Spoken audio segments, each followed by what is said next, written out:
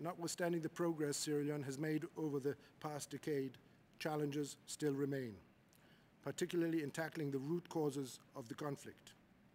The political divide and polarization of the country along regional ethnic lines that manifests itself in successive elections needs to be addressed to strengthen national unity and cohesion. Further entrenching the rule of law and institution of democratic governance is the best guarantee for sustaining peace and achieving development and economic prosperity.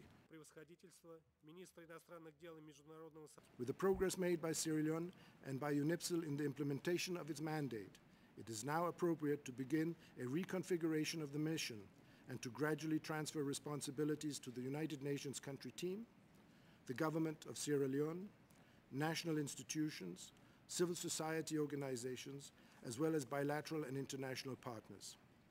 Ultimately, this process will end with the termination of the mission.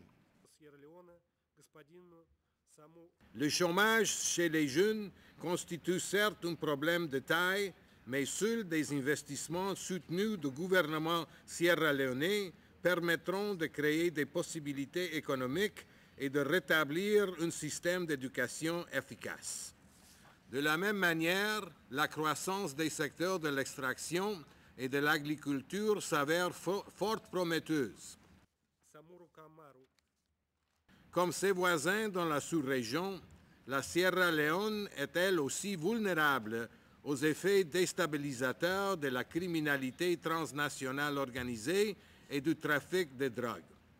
Ces considérations nous amènent à tirer une conclusion évidente, à savoir que le moment n'est pas venu pour la communauté internationale de se déintéresser de la Sierra Leone et pour consolider le progrès réalisé à ce jour, il faudra continuer de lui apporter notre aide.